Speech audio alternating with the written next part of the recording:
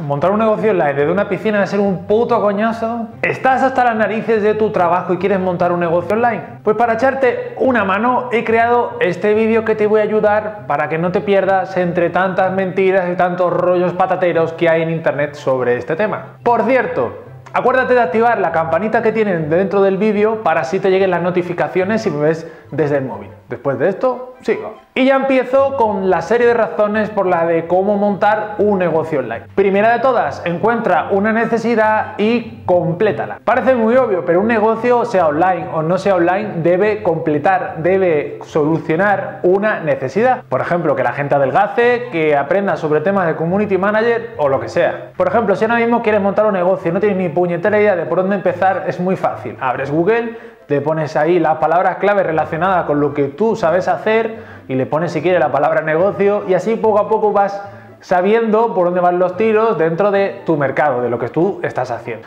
O si no, en Google Trend, tendencias de Google, pues lo buscas también y encontrarás pues lo más buscado sobre tu tema y cuál es la, de repente lo que la gente, los problemas que tienen relacionado con tu mercado. Y así ya te vas haciendo una idea de cómo va la historia dentro del mundo online correlacionado con lo que tú sabes hacer. En el caso de que no sepas nada que hacer, pues entonces atento a la razón número 2.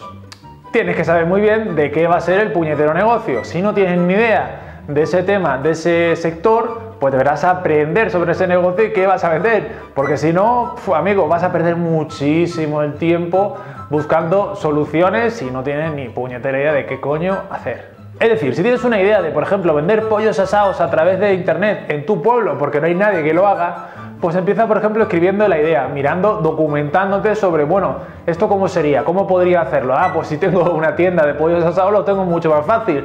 Entonces tendría que a lo mejor montar primero la tienda. También podrías comentárselo a tu family o por decírselo a algún colega para que te digan, estás loco, hay una tienda de pollos asados aquí cerca o el mercado de los pollos asados en tu pueblo es un auténtico desastre. Si vas a montar un negocio online, acuérdate de hacerlo lo más lean posible. ¿Y qué es esto? Pues no es otra cosa sino no te vuelvas locos con el tema de la inversión. Empieza con una idea y valida esa idea, porque Muchos hacéis una inversión muy potente al principio sin tener ni puñetera idea si esa idea pues va a tirar para adelante cuando a lo mejor puede ir un poquito más reculando y más adelante le puedes dar muchísimo más eh, power. Porque que te hagas una idea, un negocio eh, online, que es al final lo que estamos aquí hablando en este vídeo, pues empieza vendiendo una cosa y a lo mejor sigue vendiendo ese mismo cosa, pero va evolucionando. Esto de los negocios online, y al igual que los offline, no es una cosa cerrada, sino va poco a poco, va evolucionando y se va adaptando, porque a lo mejor tú te planteaste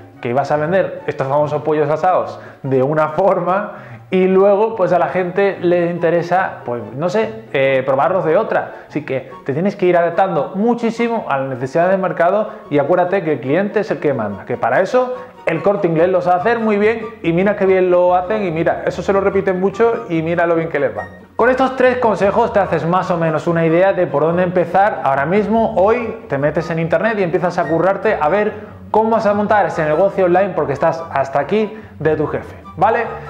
Ya sabes, este vídeo forma parte de mi reto 365, que no es otra cosa sino hacer un vídeo diario durante todo el 2018 hasta el 16 de enero de 2019. ¿Cómo me puedes ayudar? Dándole un precioso like en, YouTube, compartiendo donde tú quieras y animándome. me puedes seguir en Facebook como Chema Espejo, en Instagram como Chema Espejo, en todos lados como Chema Espejo. Y ya sabes que nos vamos a ver, lo más seguro, 100% asegurado, en el vídeo de mañana.